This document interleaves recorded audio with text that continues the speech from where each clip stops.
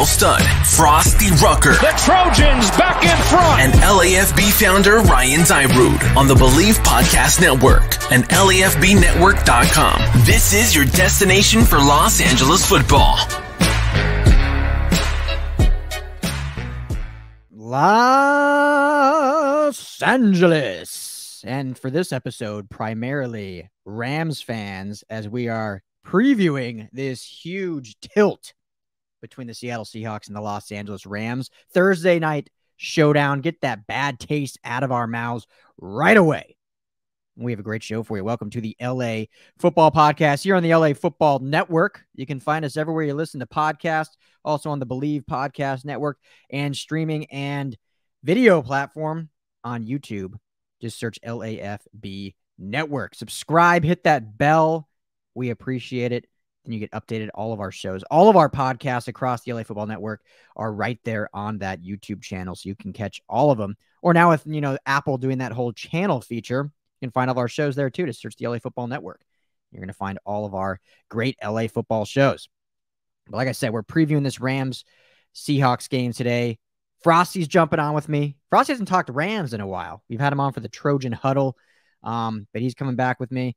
And then we are joined by Brett Davern, of uh, host of the Brett Davern Show, also host of the Seahawks podcast, with his co-host Lofa Tatupu, uh, the great USC Trojan, one of the best. Him and Frostee played together at USC, our best friends to this day.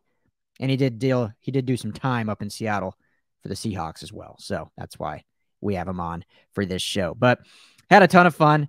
Uh, as you'll notice, we didn't even like we just jumped right into it. Like I've been, we've done this a few times now, dating back to uh, beginning of last season, and gotten to know these guys, both Lofa and Brett, that is very well. And we, you know, we just get on the mic and just start jabbing and going back and forth, and it's a ton of fun. So don't even have a formal entrance, intro, uh, intro, if you will. Basically, this is my intro, and then we just get into the conversation. So uh, it sounds kind of odd, but it sounds organic. It's fun. You know, we have a blast. So uh, looking forward to getting to it, and we're just gonna get right into it. But show is always brought to you by BetOnline.ag, our friends over there. Uh, the best prop bets, the best money lines, the best uh, you know spreads that uh, the the betting world offers. You head there on mobile or desktop. You're gonna get a great welcome bonus. That's free money, first time sign up, and use on your first bet there. So why not use free money to win some money? So betonline.ag. Uh, Stafford and Herbert, I believe, now are tied for MVP odds uh, at betonline.ag. So, you know, we got some good quarterback play here in Los Angeles. We got some good every play. I know the Rams disappointing, disappointing loss to the AZ Cardinals, but we're going to get it out of our mouths right away as we talk about this Seahawks game because I see a big bounce back for this Rams team. Big bounce back. Uh, and then yeah, Chargers huge win on Monday night over the Raiders. Got I got into that last episode into the hype and the greatness that was there. And then we'll we'll preview that Chargers Browns game on another episode we'll do later in the week, as well as uh, do some UCLA and USC talk as USC plays Utah, who Utah's underwhelming this year, but so are a lot of teams it seems, and they, anyone can beat anyone. So still been a, a, a big game. And then UCLA looks to rebound from that bad loss as they travel down to Tucson to take on a um, pretty porous U of A squad. Shouldn't be much of a game. UCLA should rout them but you never know. You never know with the Bruins. You never know with the Pac 12. But we're going to get into that later in the week. Uh, uh, you know, probably on Friday is when we'll do all those. Uh, so right now, this is a Rams focused show. So get hyped. always love these matchups with the Seahawks. Every division game's fun, but going up to the link, Ramsey and DK Metcalf, now Stafford against Russ, the running games. Will McVay stick to the run? We get into it all. So let's go ahead and just jump into it. Here's my friends, Frostee Rucker, Brett Davern, and Lofa Tatupu. We could from send you the footage, but you guys didn't even send our donuts. So oh shit. That's on me. Listen, I'm glad you're recording. I wanted to get to this right off the bat. Like Lofa, it's, it's I mean, open. I jump on the You're not here yet, you know. I mean, what's what's that Pete Carroll says about five minutes? Or whatever. But anyway, whatever. They're First ganging all, up on. You just jumped right past rule number one, which is protect what? the team. You just threw me under the bus. He threw you. Did I? Okay. you didn't give me any well, Venmo to buy donuts. So Bro, I'm, I'm out here by myself. These two guys start yelling at me about donuts. I'm like, listen, I want our show to pay off our debts. Okay. I need we apparently made a bet. I need Darrod's number because I text Frost for a link. Didn't even get a reply. Texted Brett. Nothing. Oh. Katie. Katie replied. Thanks, director wow. producer Katie. Uh, yeah. Obviously, me and Darrod are the, we're the brains of the operation. Yeah. Here. I was gonna send it to your Instagram, but I was like, I figured they had you. Uh, well, I, maybe we'll have to try it again. I don't know. Whatever. I don't know. I don't know if I'll bet you again, but I'm on the donuts this week. Send some, and I'm going to. Yeah. Make it right. Top pot. Here we go. Top get you the whole assortment. I just want to try. I, give them, give them the I, Golden Tate special. I could also come out there. Oh yeah, you should. Golden Tate late night, a late night uh, special Golden Tate. When are we hey, flying man. out? Or was it early AM? Which one? I think it was early AM. Oh, for sure, early AM, for sure. When we flying out, Frost? We got we got the action green ready. We got the neon green. We got that. the uniforms. Yeah. We got the uniforms that drive the league crazy. We're ready for you the guys. Speakers man. turned on. The microphones turned on for the speakers. You got all that. That's right. What what happened with uh with you guys? What happened with the Rams? Let's talk about that. Yeah. Would you like to go? Yeah, there? I thought you guys were gonna, you know, just run the table this year. What happened? Matt Stafford, really, really, really good Cardinal team. Yeah, they are good. Cardinals are legit. I'm not saying great. I'm saying they're really, really good. And you know, me being a former player, I've been kind of biased on this, but it's like I kind of been waiting for them to implode. You know what I mean? A little bit implode. But mm-hmm. then at the same time, it's like they just keep doing the damn thing. I don't know how to, yeah. you know. Well, I didn't, I'm not a believer in that type of offense. I'm just not. Oh, okay, I got you. Yeah. yeah. Um, you know, yeah, Murray's the only guy that scares me. Like you know, when you're talking quarterbacks, I love ours, but the other one, you know, I know we're talking golf.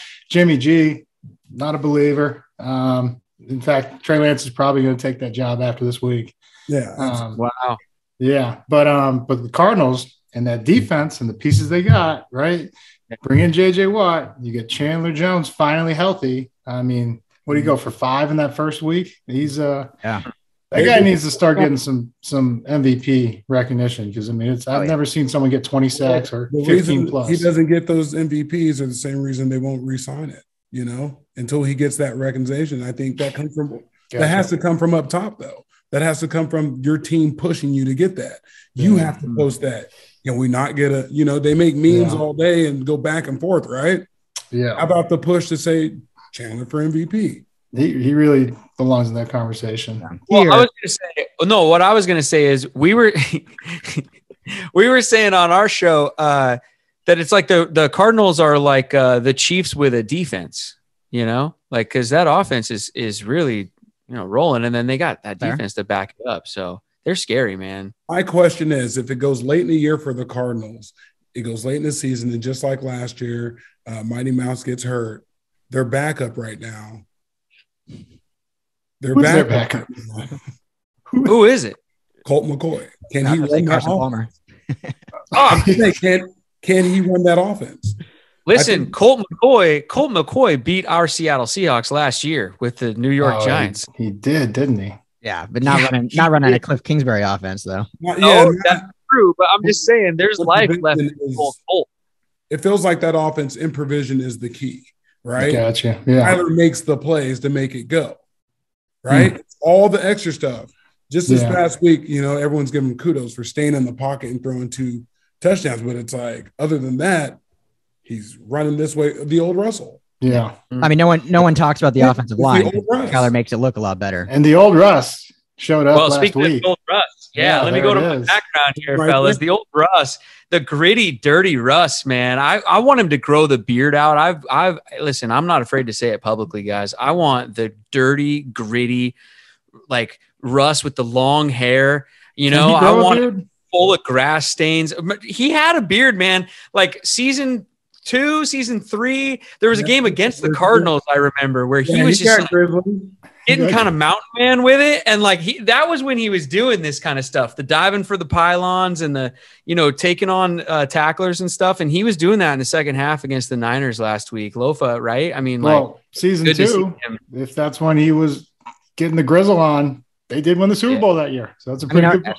Are are him and Kyler Moore just like first half QBs? Because Russ was what leading MVP last year, and then he kind of fell off. Does he get sustain it, or like what what happens throughout the year? They're all of a sudden did teams just figure it out more?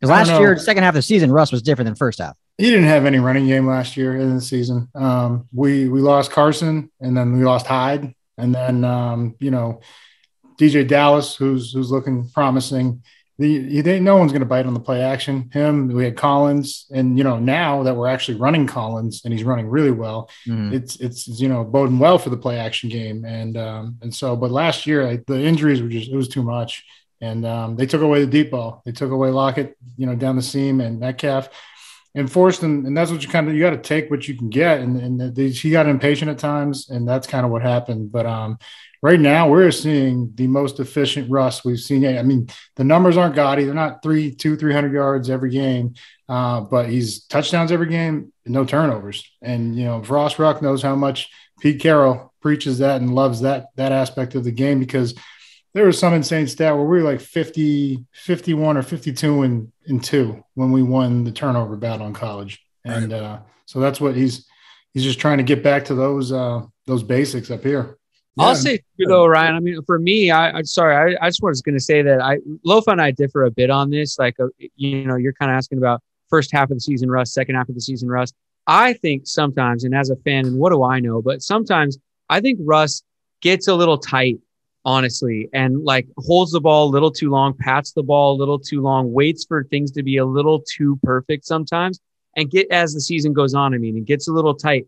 And that's why I love this run and dive for the pylon Russ. And I think that's why me as a fan, that's why I think we need that guy. Because when he's loose and having fun out there, that's when he's at his best. And uh, sometimes I, I don't know, for whatever reason, it seems like he tightens up. But so well, hopefully he's getting a little older. Let's let's put in the, yeah. the fact that he's getting a little older and he has a lot more to risk. If he gets hurt, the whole thing's over you know he was fighting for different things earlier not to say the drive isn't there not mm-hmm. to say the passion isn't there but you know russ is coming from an offseason of turmoil where everyone was questioning if he's going to be there right and yeah. now if you know he may know a little bit more than me but uh when i was playing versus him he was one of the hardest if not the hardest quarterback to catch because he was a true dual uh threat he can run and he can throw not just he yeah. can get out of the pocket. He can loft something up, but we're still going to call him a running back. No, he's an elite passer. And when he can go dual threat on you and he's not uh, afraid and he's not scared, and he's, like you said, diving for the pylons. Yeah. With the rust that, you know, this NFC uh, is scared to have. Well, and Brett, it kind of I, I I never can explain this, and I know not a lot of golfers are like this, but for some reason I always play better on the front nine, maybe because I don't care at that point. I just started. I'm like, I haven't played in nine months. I'm just gonna go swing the sticks. And then I was like, oh shoot, I, sh- I shot like two over. Let's let's kill on the back, and I shoot like 14 over on the back. So maybe yeah. that's maybe that's the Russell thinking too much in the second do, half of the season. Do beers play a role in that? In that Usually, a, a, 14 to 15 beers also play a role in that. So that's probably yeah. I don't think Russell's doing that in October, but I think that's I think that's a great analogy, man. Yeah, I yeah. do think like that. I'll yeah. say one more thing about you know Russ before we move on to whatever topic you want to go next. Zoned in. Yeah, absolutely. But uh, you know the the actual the run game in which we are running now this shotgun run frost you can speak to it. When the quarterback never hands it off why do they run out of the shotgun? Because i mean it's no longer read option. It's just a true handoff. And i mean it, it always looks soft up front you know even if you have a great o line yeah and that's what i when i trend to tell you that i do not like that style of offense i just don't it's yeah. too passive too I don't know. I, yeah. I need a fullback. You know what I'm saying? To be completely honest, I need a fullback. And a lot of people aren't running fullbacks and they're not running powers and stuff of that nature. Yeah. Where is where is all the gap trap gone? It's too easy now. You just one tight gap. ends now. They're using tight ends and they're switching the gaps with that that uh that zone. Yeah. You know, I mean? that split zone. They're switching gaps that way. So football is just becoming more how do I trick you instead of like yeah, how do I I'm just gonna get the guys and beat you up. And I mean that's that's what works. Wear somebody down. But just like Frost is talking about that split zone, when the tail or the fullback or the tight ends coming across formation, if you're a smart football player, you just fall back with it and you don't even get touched by the lineman. Like that's how easy it is. Um, so I mean, like you said, they are trying to trick guys, but I mean, just follow that guy to the ball, and you're gonna you'll make a tackle for loss every time. There you go. And Lofa, you're one of the smartest ones to ever do it. So not everyone Smart. can do the loaf. Smarter, not harder. Do we who do we blame? Can we blame John Madden or EA Sports or who do we blame for like these overcomplicated try to trick you like Frostee said offenses? I think like, it's college. People, and they're not even complicated. They're just I think, I think it's college. Really? I mean, yeah, in college, you don't even have to huddle up anymore. You stand at the line and you look to the side. Oh, oh, they're in cover three. You can't see that. Like that though there's a there's a serious and I think it's becoming harder and harder to play quarterback in this league because you're coming from college where you you get to play from the sideline, everybody gets it. You don't even have to use a cadence. So like you don't ever develop those skills of drawing people off sides. There's a lot that gets missed in college now, and now it's trickling up somehow to the NFL. There's college coaches coming to the NFL. You got Rhule, Urban Meyer.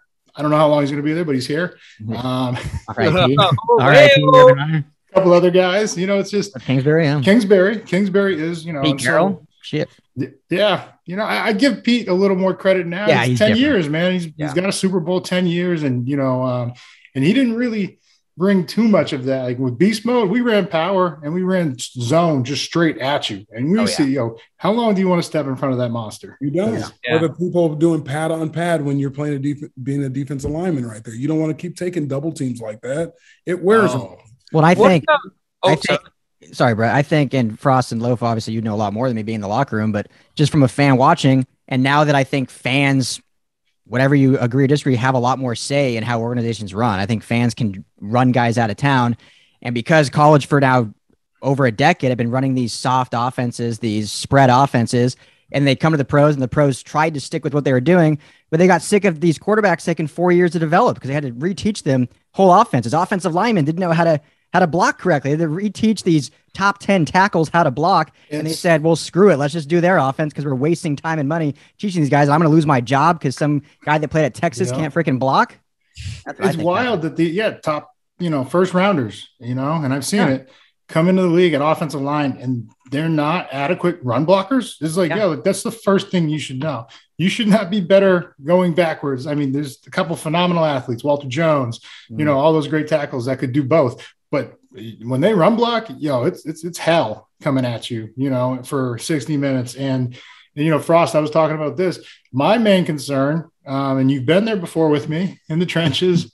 Well, I wasn't in the trenches. I'm not gonna go that far. You were, but um, when we were at SC and we score too fast, or we three and out, or you know, and so we're going through that right now up here in Seattle. And I'm wondering, you know, can we hold on playing 70, 80 plays a game? That's almost a game and a quarter, game and a half. And I just wonder if that's gonna, you know, take its toll on um, on Bobby and the defense. Man, they're out there a long time. Absolutely, and um, just like you mentioned, is the number of snaps that these guys have to play, and if they if they can't keep up with that pace, it's not so much if they were in shape and they worked hard in the summer and all that. You move past that. It is real yeah. life, everyday stuff because you still have to practice. So now you're just thinking about your practice reps and you try to monitor that, but then your game time. So that's over a course of the season, you're paying thousands of more snaps. Yeah. You know I'm saying people don't understand that because people have to go to practice. Oh my God. You, if you're in the tub, you don't get to go out and run out uh, out the tunnel. It doesn't work yeah. like that. Wait, can I ask you guys a question about that though? Mm-hmm. Uh, because I don't know if you guys watch Hard Knocks or whatever, and I haven't really heard a lot of former players talk about this. Uh, they have all these new technologies and stuff that they use. They have like microchips in guys' shoulder pads, and they're tracking how far they run and how fast they run and how much reps and all the all of the above. Um, and you know, there's all the they don't. I mean, you guys, you two a days in training camp and things like that, full pads. You know, they don't do a lot of that stuff anymore. It, and a lot of that's the players union this and that player safety. I get why but is it is it diminishing the game and and the product on the field a little bit? Like is that why we're not seeing the same physicality? I mean lofa we were talking about this on our show. The game it's it feels a little slower sometimes and less physical than it used to be obviously um, for a lot of reasons penalties this and that. I know but yeah, also just almost. like the practice time it, practices are different everything's different. Yeah, you would think if you take all that away, the game would get more intense, more physical, you know, more uh, barbaric, if you will. But I mean, it's it's almost like they're conditioning themselves to like take it out of it and like, mm-hmm. hey, no, we're just gonna, you know, we're going to try to just form tackle or, you know, place our shoulder here and like think of th- overthinking instead of, you know, just running through somebody, which is what me and Frost were, were, were taught. Um, it's over legislated a bit. I mean, like players playing tight, like we talk about with Russ. Right. You got to look at this. The culture of football is completely different. And that's what Lofa is alluding to. When we grew up, we had double days. They don't have those anymore. Right. Right. They almost allow this game to be the way it is. They want big points. They don't want overly physical because we, we look at it from a coaching standpoint. Some coaches take it too far at practice right? They keep you after an hour after a double day and things of that nature. You don't have time to recoup, to eat, to do all these things. Mm-hmm. But then on the opposite side, when you make a rule and you make it a you know a rule across the board, there's no leniency in if people want to work a little bit harder. Right. If you want to go out there in a certain time, you can't in the spring, right? Right. Sure. So there's no gray area with it when you make certain things ironclad and then the culture and and football has just changed and we have to adapt to it or we're going to still sit here and talk about when we grow up like that. Yeah. I know. we're like a curmudgeonly old man. No, and I don't want to be exactly. That's what I, don't want to do. You have to. Me and Frost are not yeah. out here saying you know the game is softer or these guys couldn't make it back in our generation. We're not saying right. that shit at all. Right. Because these they're bigger, faster, stronger. They could absolutely dominate in, mm-hmm. in any generation if they're dominating now. But it's just um, I think you know creatures of habit. If we're continually teaching ourselves to practice this way and you know and like there's no pads in your mind you would think that okay then they can go all out on, on sunday but it's almost like they're conditioned to okay just you know we got to make it through here and do this and this is how we do it and so um, well, there's, no, I mean, there's, ebbs and flows to everything. Different eras in every sport. You know, the NBA yeah. in the '80s was Which, really physical, hey, and then it became more finesse, more one on one. It goes. But you saw flows, you know. You and, saw that hit that Nick Bellore put on Aiyuk in the punt, and yeah, I didn't get to give this play its you know true you know shining moment spotlight. I put it on my story. Was, I mean he he ran through him, and Aiyuk is a big, physical, tough receiver, um, and he's going to be a really good one too and he got his helmet ripped off, spun sideways, stood up, and just sat there like, "Yo, who the hell just hit me?" Mm-hmm. And I mean, we're not seeing a lot of that anymore. And I mean, I, you know, that that's so that's concerning well, you, to me as a fan of big hits. Yeah, you get them every once in a while. Like Jamal had a good hit on Kittle and stuff. They, you get some big hits, but I think what what you guys were talking about is, as far as like running game, especially, and like the power runs and things like that, like you just you're not seeing the same physicality on that. And i just wonder if it's because they don't practice it as much and it's way they practice it brett and they're afraid of fines. Yeah, yeah oh. that's that's for damn sure. I mean so, so playing tight right? In my career i spent time at the competition committee meeting at uh, each combine. Uh, the last i would say six years of my career i went out there and i was in these meetings and, and listening to head coaches general managers and some owners in there they didn't understand the concept of the game going as fast as it did. Yes, you want to protect knees, you want to protect heads. Mm-hmm. I get that.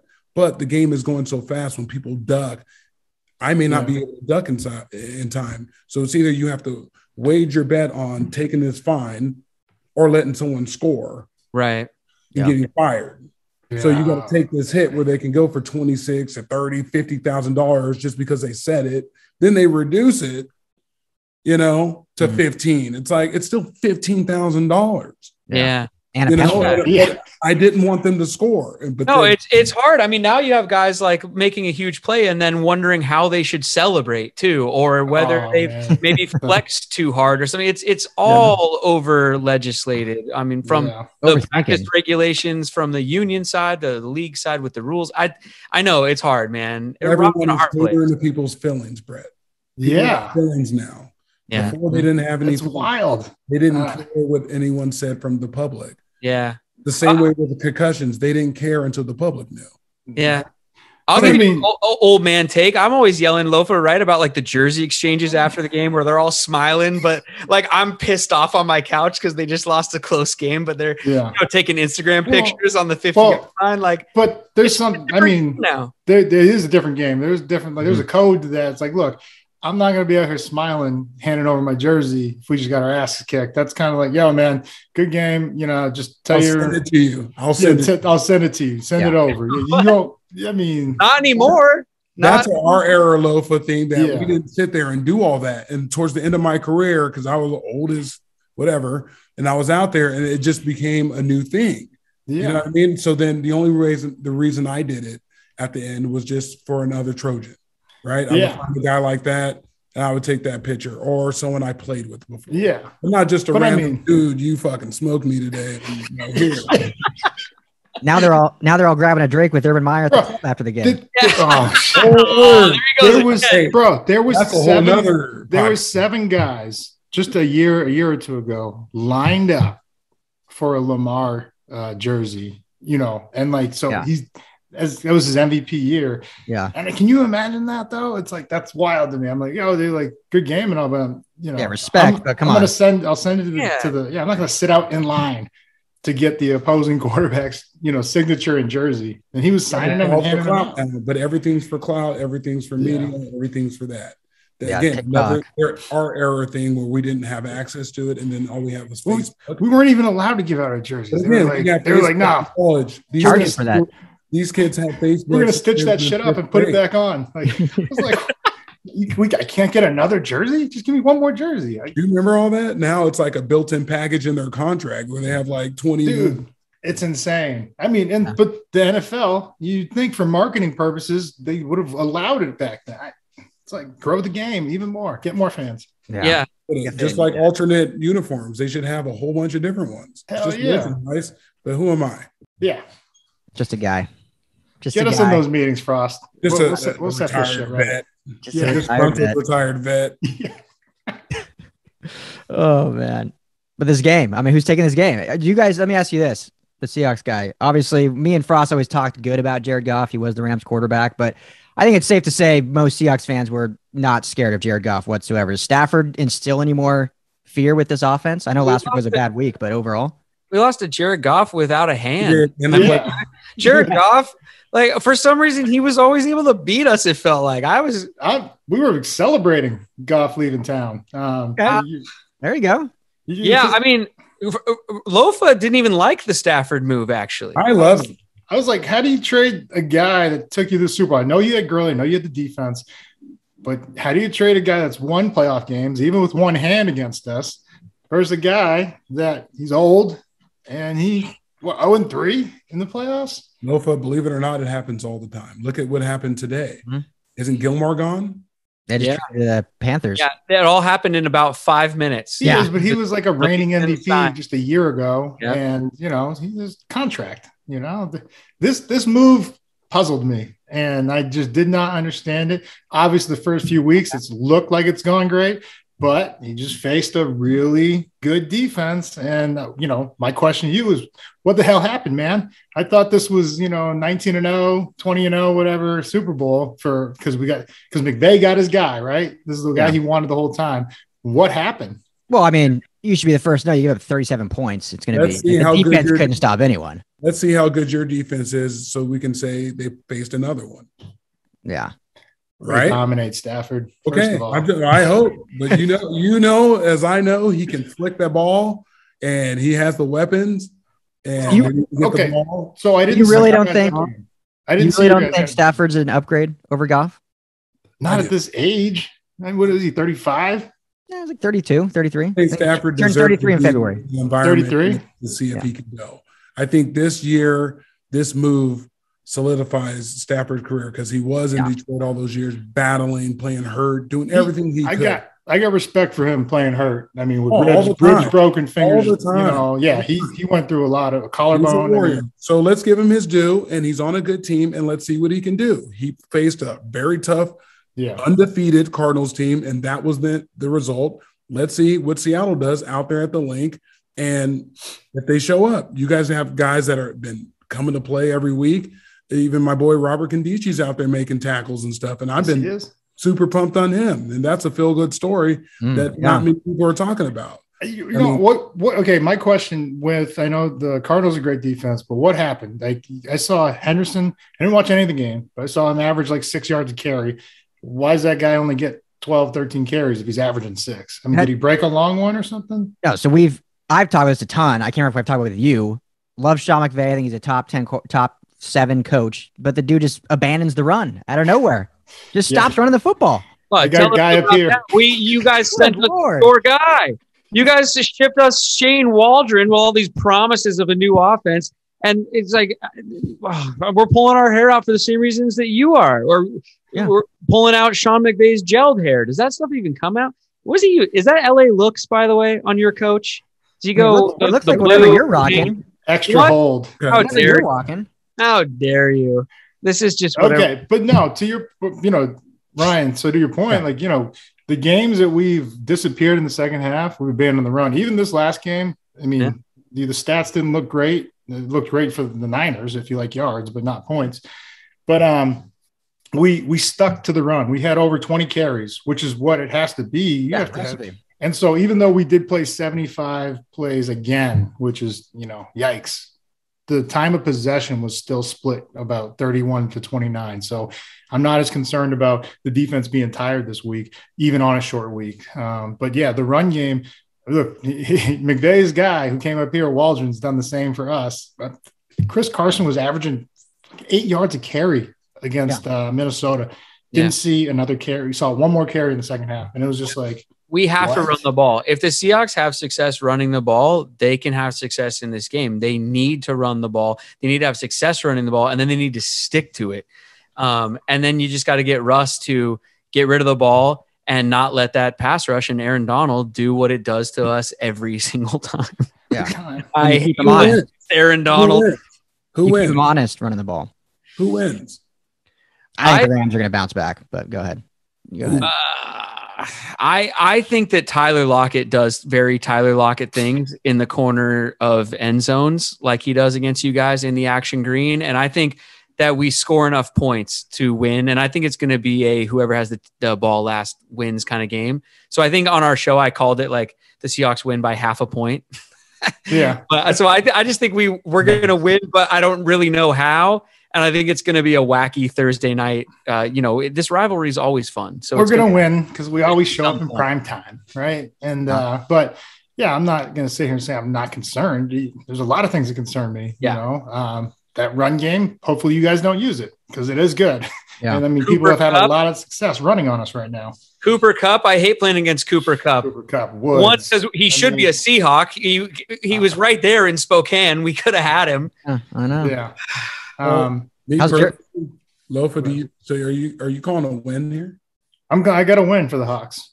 Yes, I do. I think uh, I think we're we're going to get some turnovers, and that's what's going to happen. That's going to be the tail of it. We're going to have to get at least two, maybe three to to slow down, and we're going to have to protect the ball. You know, Russ is going to have to continue to do what he's doing. He had like 180 yards, 170 yards last week, but he had two touchdowns, uh, ran one, threw for two. Um, yeah, and so it's like if you can have that kind of plus minus, you know, in your favor, then you know it, it's going to bode well for you. So I got the Hawks, uh, but I'm not sitting here saying I'm not concerned because, um, you know, Aaron Donald he scares me.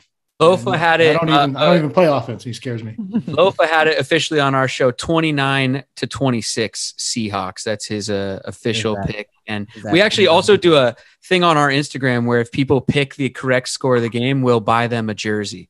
You guys so, aren't buying anyone anything. Anyway, yeah, uh, well, I'm gonna start, start by you guys donuts first. Anyway, Brett, anyway, Brett, Brett, go on mute.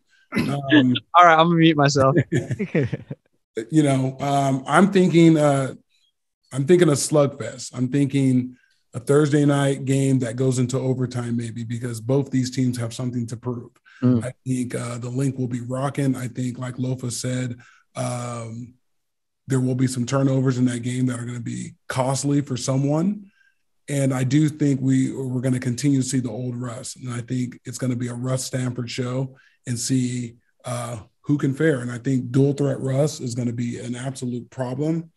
And um, as far as a winner, and it's our show, and it's the LA football one. okay, you pick against all the time. It's no, okay. I know I do. I do all the time. Uh, I think this is a bounce back game for the Rams. That's what scares me, Frost. Yeah. they know, just like you know, that everyone wants to see the run, and they're going to run the ball. Mm. Well, I, don't I mean, have the I don't have the record in front of me, but Sean McVay is pretty damn good after a loss. He doesn't lose yeah. two in a row very often, and yeah. uh, he knows what they messed up. He knows what they did wrong, and I think they I think they bounced back. The current concern for me is the the secondary outside of Jalen Ramsey's looked a lot worse this year than it did last year. Obviously, losing John Johnson and Troy Hill has been a much bigger deal than a lot of people thought. Mm. And so, uh, you know, I think Ramsey will be on DK Metcalf, which is always fun, but, you know, it seems like Ramsey usually wins that battle. But Tyler Lockett could have a huge game. Gerald Everett, what about the former Ram? That guy, yeah. If he, right, is he off the list, off the, the COVID? If he is, then yeah, yeah, kid's a stud. But um, we haven't every time we throw to the tight end, we get 30 yards. So I, and we just stopped doing it after the first time. I don't know why. But um the name you guys need to remember need to remember is Freddie Swain. This kid is coming on and he's earning a lot of trust from from Russ. And you know, that's the biggest thing when you're a young receiver. You know, the guys like Aaron Rodgers, um, Drew Brees, Tom Brady, all the greats, they don't throw to the new guy until he proves over and over again that he can show up and make the catch. And he's been doing it.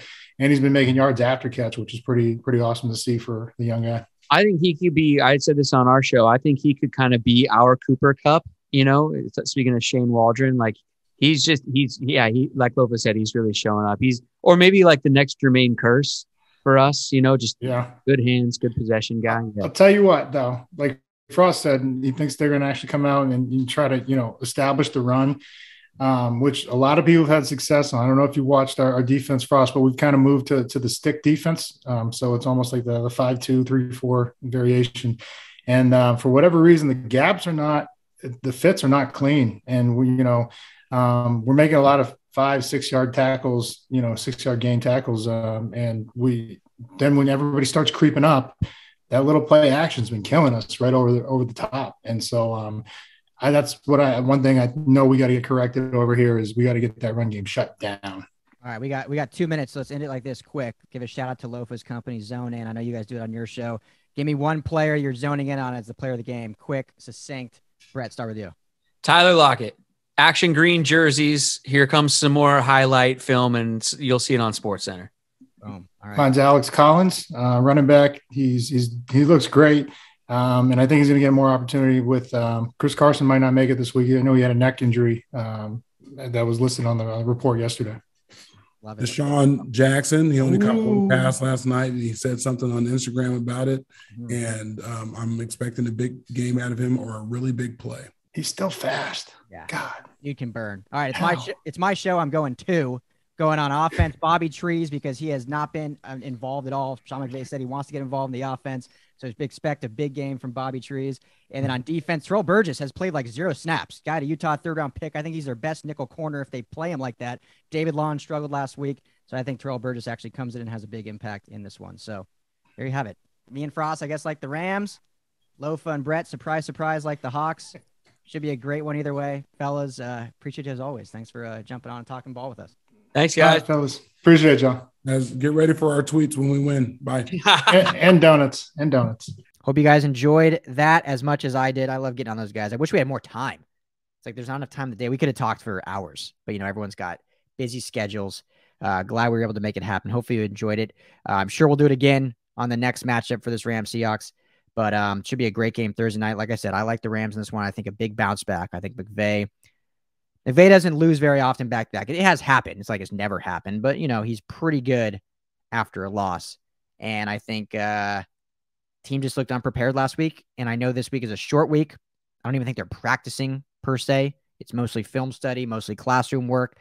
Uh, you know, they're not hitting each other because it's short. They want to keep their bodies fresh, but I think they'll come out good. I think they'll stick to the run. I think we'll see Bobby Trees involved. I think we'll see the secondary play a lot better, where that means Rochell's going to play more, Ter- Terrell Burgess is going to play more, or David Long's just going to step up and play better. I think we'll see improvement. Hopefully, the running game or the running defense, excuse me, improves as well. But it's not going to be fixed in four days, guys. Let's, I mean, it's not like all of a sudden the defense is going to go from what we saw on Sunday to what we saw last year. But we can see improvement. I think last year was more of an anomaly, anom- anomaly. There we go, than the norm. It's been trending not great. We've seen some good things, some bad things. Then last week was like the the pinnacle, the the worst we've seen. I don't think that's the norm though. I don't think we're at where we're going to be last year and it's going to be an uphill battle. I mean, we lost some key players, including coaches. Many, I mean, not just Brandon Staley. You lose Joe Barry. I mean, we lost Aubrey Pleasant, and then you lose four key starters and contributors. There was going to be some growing pains. And I know everyone wants to jump down Raheem Morris's throat, And we can get into the history of Raheem Morris and how he hasn't had a top five defense, yada, yada, yada. But there was going to be some growing pains. There had to be the expectation of that. Now, I don't think growing pains should be giving up 37 points and not being able to stop anything. It was a bad game. Let's call it what it was. But I think we'll see improvement and we'll see this defense get back towards looking like we want them to look. We're not going to see that in four days from la- from Sunday. It's going to take more time than that, especially when they're not even putting the pads on this week until until kickoff.